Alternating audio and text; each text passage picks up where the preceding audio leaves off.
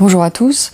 Nous avons de nouveau le plaisir d'être en compagnie de Jean Borella, qui a été professeur de philosophie à l'université de Nancy jusqu'en 1995. Dans un autre entretien, nous avions eu l'occasion d'aborder une partie de sa thèse de doctorat qui était publiée sous le titre La crise du symbolisme religieux. Et nous avions pu voir lors de cet entretien comment, au fil des siècles, l'homme en venait à perdre la raison, en quelque sorte. Il a tendance à naturaliser euh, sa propre nature, à naturaliser le cosmos, et il en vient finalement à perdre le sens du surnaturel, pour reprendre un titre d'un autre ouvrage écrit par Jean Borella, Le sens du surnaturel. Jean Borella, bonjour.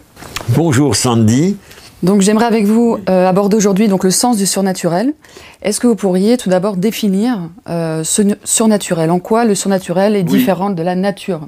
Je peux dire que ce livre, je l'ai écrit euh, à la suite d'une stupéfaction. J'avais lu un petit livre d'un théologien allemand illustre qui s'appelle Hans Kung et son petit livre s'appelle Être chrétien. Il est évidemment très très radical dans, ses positions qui sont ultra modernistes. Je ne sais même pas si on peut encore parler de, de position théologique.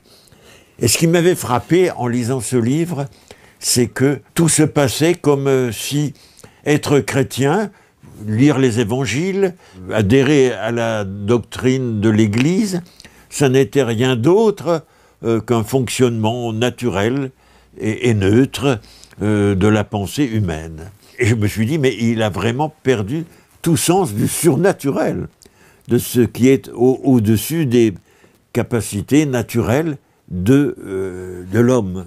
Ce qui conduit à, penser, par exemple, qu'un théologien athée qui ferait de la théologie, mais sérieusement, avec compétence, euh, au fond, ne diffère pas d'un théologien euh, croyant euh, et, qui voit dans, la théologie une sorte de, voie spirituelle.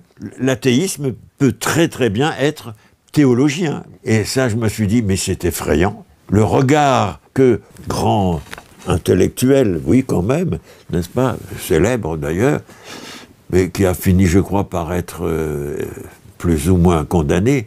Le regard qu'il jette euh, sur la foi, être chrétien, euh, est un regard qu'un athée, un, athée sérieux, disons honnête, serait capable de jeter. Donc, voilà, c'est cela qui m'a éveillé à, l'idée de, défendre la notion de, du surnaturel. Le sens du surnaturel, ça veut dire euh, le sens que nous avons, nous, du surnaturel.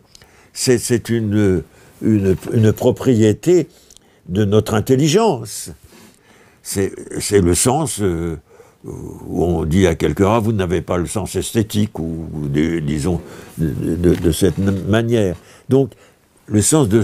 Il y a quelque chose de surnaturel euh, dans le discours théologique et dans le discours religieux d'une manière euh, générale et, moins savante, moins intellectuelle.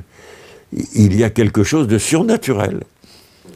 Et ça m'a amené donc à, m'engager dans, cette question qui a été approfondie euh, et instruite aussi par un livre remarquable du père de Lubac qui s'appelle justement Surnaturel, qu'il avait publié en 39, je crois, mais comme la guerre est arrivée, ce livre n'a pas eu la diffusion qu'il aurait dû avoir, qui est un livre important et, qui met le doigt euh, sur un problème euh, majeur, je crois, de, de, la religion catholique, tout au moins, et qui lui a valu d'ailleurs une sorte pas de condamnation, mais enfin relative